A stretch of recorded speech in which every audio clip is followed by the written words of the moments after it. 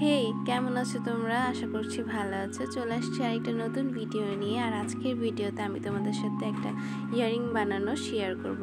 তো ইয়ারিংটা বানানোর জন্য আমি কীভাবে বানাবো? প্রথমে তার রাফ স্কেচ করে নিই তারপর আমি কার্ডবোর্ড নিয়ে নিই কার্ডবোর্ড নেওয়ার পরে আমি যে বেসগুলো এঁকেছিলাম, যে রাফগুলো করেছিলাম, আমি ওগুলো কেটে নিচ্ছি সুন্দর করে এঁকে।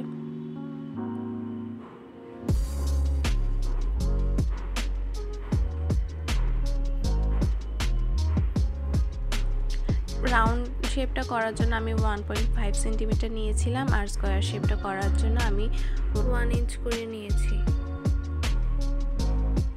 এঁকে নেওয়ার পর সুন্দর করে এগুলোকে সঠিকভাবে কেটে নিতে হবে, প্রত্যেকটা যেন সমান হয়।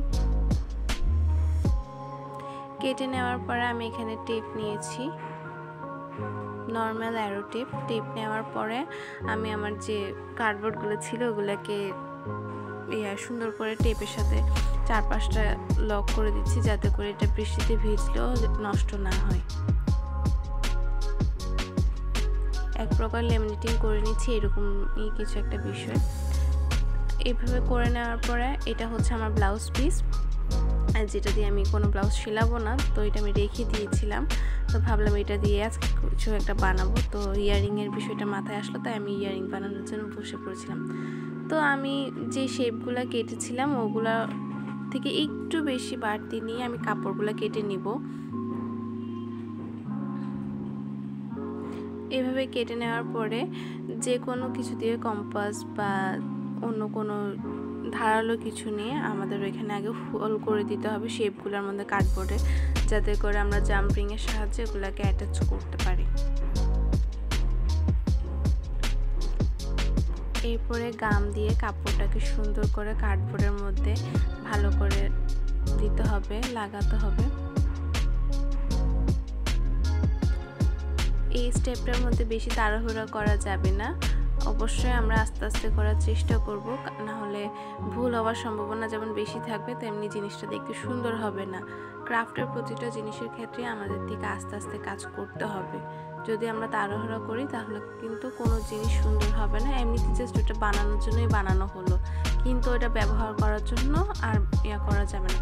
তো আমার কাছে বড় সাইজের জাম্পিং ছিল না, তাই আমি আমার যে আইপিন ছিল আইপিনটাকে সুন্দর করে কেটে শেপ দিয়ে আমি বড় জাম্পিং বানিয়ে নিয়েছি, বানিয়ে নিয়ে আমি এটা অ্যাটাচ করে দিয়েছি।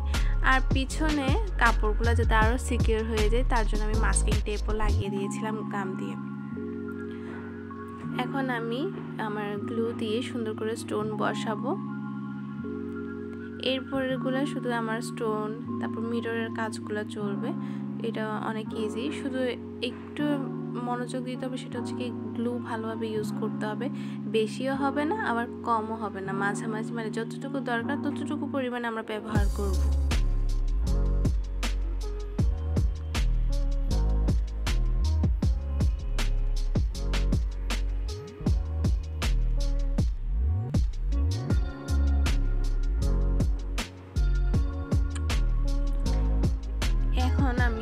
যেহেতু স্টোন বসানো শেষ, তারপরে আমি ইয়ারিং স্টপার নিয়ে ফেলেছি। ইয়ারিং স্টপারটাকে গ্লু দিয়ে আটকে দিলাম। এটা করার পরে দিয়ে যখন শুকিয়ে গিয়েছিল ইয়ারিংসটা খুবই সুন্দর হয়েছে। ছবিতে আসলে তোমরা হয়তো দেখতে পেরেছ। আর এই যে আমার ইয়ারিংস পিস দোনোটাই রেডি আর এই যে আমি চলে আসছি স্টাইল করার জন্য। আশা করছি তোমাদের এই ভিডিওটা অনেক অনেক ভালো লেগেছে। তোমরা যদি এরকম ভিডিও আরও দেখতে চাও, অবশ্যই কমেন্টে জানিও। ভালো থাকো বাই